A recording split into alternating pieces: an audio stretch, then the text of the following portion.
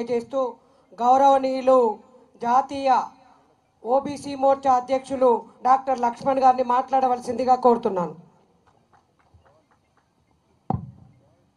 సభ అధ్యక్షురాలు సోదరి రావుల పద్మ గారు ఈనాటి ఈ నిరసన సభకు ప్రధాన వక్తగా తెలంగాణ ప్రజలకు సాంఘీభావాన్ని వ్యక్తం చేయడానికి వచ్చేసినటువంటి అస్సాం ముఖ్యమంత్రి ఐదు సార్లు ఎమ్మెల్యేగా గెలిచి అస్సాం ప్రజల హృదయ సామ్రాట్గా కొనసాగుతున్నటువంటి సోదరులు హేమంత్ బిశ్వా శర్మ గారు మన రాష్ట్ర అధ్యక్షులు పార్లమెంట్ సభ్యులు ప్రభుత్వము ఎన్ని రకాలైనటువంటి కక్ష సాధింపు చర్యలకు పాల్పడ్డప్పటికీ ప్రజాహితం కోసము ఈరోజు భారతీయ జనతా పార్టీని ఈ తెలంగాణ సమాజం కోసం రాజీ పడకుండా మడమ తిప్పకుండా ఉద్యమిస్తున్నటువంటి సోదరులు బండి సంజయ్ కుమార్ గారు.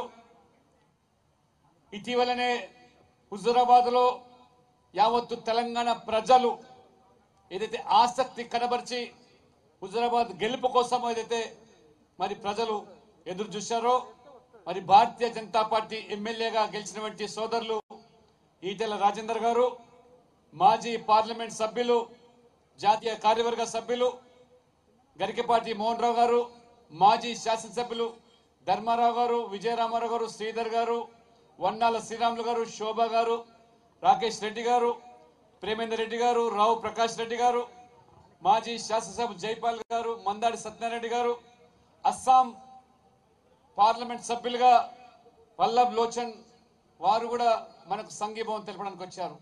అస్సాం శాసనసభ్యులు జయంత్ మల్లా గారు కూడా మనకు విచ్చేశారు.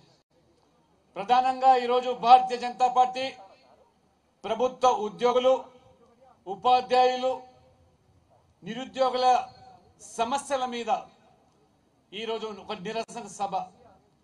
భారతీయ జనతా పార్టీ ఏ మూడు వందల పదిహేడు జీవో ఉపాధ్యాయులకు ప్రభుత్వ ఉద్యోగులకు లేదా ఏ కొలువుల కోసం కళ్ళకు ఒత్తులు పెట్టుకొని ఎదురు చూస్తున్న నిరుద్యోగ యువతకు ఏదైతే ఇవాళ వాళ్ళ యొక్క ఆశల మీద నీళ్ళు చల్లినటువంటి ఈ జీవోను ఏ రకంగా పార్టీ ఒక ఉద్యమంగా తీసుకొని దానికి నాయకత్వం వహించినటువంటి బండి సంజయ్ కుమార్ గారు ఒక దీక్ష చేపడితే పోలీసులు కక్ష సాధింపు చర్యల్లో భాగంగా అక్రమ కేసులు పెట్టి జైలు పాలు చేస్తే ఏ రకంగా ఇవాళ తెలంగాణ ప్రజలు భారతీయ జనతా పార్టీ యొక్క మరి అధినాయకత్వం సైతం కూడా ప్రజల ముందు ఈ ప్రభుత్వం యొక్క మరి దౌర్జన్యాన్ని దోషిగా నిలబెట్టడంతో దిగి వచ్చి ఏ రకంగా ఈరోజు బండి సంజయ్ కుమార్ గారు ఇవ్వండి. ఒక దళిత మాజీ శాసనసభ్యులైనటువంటి బడిగే శోభ గారిని ఇవాళ మనము ప్రకటించినటువంటి ఏదైతే శంకారావును పూరించిన ధర్మ యుద్ధంలో మొదటి విడతగా ఈరోజు న్యాయం గెలిచింది.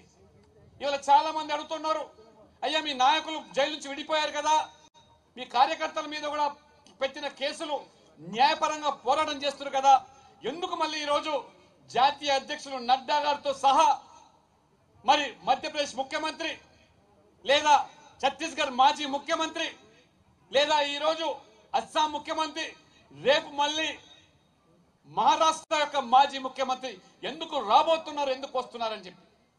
పూర్తిగా ఈరోజు భారతీయ జనతా పార్టీ ఈ తెలంగాణ ప్రజలకు భరోసా కల్పించేదానికి ఈ యొక్క టిఆర్ఎస్ ప్రభుత్వం యొక్క ఏదైతే అరాచక పాలన ఉందో ఈ టిఆర్ఎస్ పాలన యొక్క నియంత పాలన ఏదైతే ఉందో ప్రజాస్వామ్యాన్ని అణిచివేసి ఏ రకంగా ప్రజాస్వామ్య వాదులను ఈ రోజు అక్రమ కేసుల ద్వారా వాళ్ళ గొంతు నొక్కే ప్రయత్నం చేస్తున్నారో ఈ ప్రభుత్వాన్ని హెచ్చరించడానికి అధికార పార్టీని హెచ్చరించడానికి యావత్తు భారతీయ జనతా పార్టీ మీకు అండగా ఉన్నదని ఈ ఉపాధ్యాయుల ఉద్యోగుల సమస్య పరిష్కారం చేసే వరకు మడమ తిప్పేలేదని చెప్పి చెప్పడానికే ఈ యొక్క కార్యక్రమాలు సభలు కొనసాగుతున్నాయి. ఇవాళ వాస్తవంగా మూడు వందల పదిహేడు జీవో ఏదైతే ఇవాళ ఏ స్థానికత అంశం మీద ఇవాళ తెలంగాణ సాధించుకున్నామో ఏ స్థానికుల కోసం ఆ రోజు? మరి మొట్టమొదటిగా ముల్కి నిబంధనలతో ప్రారంభమైనటువంటి ఉద్యమం. చివరికి తెలంగాణ సాధన డిమాండ్తోనే ఈ స్థానికులకు ఈ ప్రాంత వాసులకు న్యాయం జరుగుతుందని చెప్పి విశ్వసించి భావించి ఆరు వందల పది జీవో తర్వాత ఏ రకంగా ప్రభుత్వ ఉద్యోగులు జరుగుతున్న అన్యాయం కానివ్వండి నిరుద్యోగుల కోసం మా ప్రాంతం వారికి ఈ ఉద్యోగాలు కొలువు దక్కుతాయని నెపంతో తెగించి కొట్లాడి సాధించుకున్న తెలంగాణలో ఇవాళ స్థానిక అంశాన్ని అటకెక్కించి ఇవాళ సీనియారిటీ పేరు మీద ఏ రకంగా ఉపాధ్యాయులను ఉద్యోగులను ఏ రకంగా బదిలీలు చేస్తా ఉన్నారు ఇవాళ? ఇవాళ పది జిల్లాలటువంటి ఉన్నటువంటి ప్రాంతాన్ని ముప్పై మూడు జిల్లాలు చేసి ఏ రకంగా అశాస్త్రీయంగా ఒక జిల్లా ముప్పై మండలాలతో కూడుకున్న జిల్లా ఒక జిల్లా మూడు మండలాలతో కూడుకున్న జిల్లా ఎవరి కోసం ఈ జిల్లాలు ఏ రకంగా అశాస్త్రీయంగా చేసావంటే మీ రాజకీయాల కోసం రాజకీయపరమైనటువంటి మరి అణిచివేత చర్యల కోసం ఎదిగే నాయకత్వాన్ని తుడిచిపెట్టే దానికోసం జిల్లాల్లో ఈ మూడు ముప్పై మూడు జిల్లాలు ప్రజలు ఆశించారు. ఇరవై జిల్లాల్లో మహా అంటే చేస్తారని కానీ అశాస్త్రీయంగా చేసే జిల్లాలో ఈ రాష్ట్రానికి దక్కినటువంటి నాలుగు లక్ష తొంభై ఒక్క వేల ప్రభుత్వ ఉద్యోగుల సంఖ్యను వాళ్ళకు సక్రమంగా వాళ్ళకు ఆ జిల్లాలకు బదిలీ చేయడానికి వాళ్ళకు ఆ బాధ్యతలు కల్పించడానికి రాష్ట్రపతి ఉత్తర్వులు రెండు వేల పద్దెనిమిదిలో కేంద్రం దానికి సానుకూలత వ్యక్తం చేస్తే మూడు సంవత్సరాలు నిద్రమత్తులో తూగిన ప్రభుత్వం నిద్రమత్తులో నుంచి తేలుకొని మూడు రోజుల తదంగం అంతా పూర్తి చేస్తామని సీనియారిటీ పేరు మీద జూనియర్లందరినీ కూడా మారుమూల గ్రామీణ ప్రాంతానికి తరలించి ఏ రకంగా ఇవాళ కుటుంబాలను విడదీస్తున్నటువంటి ఈ ప్రభుత్వం ఏ రకంగా ఇవాళ ఉపాధ్యాయులు వారి గోస అరిగోస పడుతున్నారు ఇవాళ కల్లారా చూస్తున్నాం. దాదాపు నలుగురు ప్రభుత్వ ఉద్యోగులు టీచర్లు ఇవాళ ఆత్మహత్యలు చేసుకున్నారు. మీ యొక్క మరి అనారికమైన చర్యల వల్ల. అందుకనే ఇవాళ నిరుద్యోగులు గ్రామాల్లో పోతే ఈ ఉద్యోగులు ఉపాధ్యాయులకు ఇరవై సంవత్సరాలు ముప్పై సంవత్సరాలకు వాళ్ళకు పదోన్నతి లేదు. పదవులు ఇరవై సంవత్సరాల దాకా ఉద్యోగాలు ఖాళీ అయ్యే పరిస్థితి లేదు.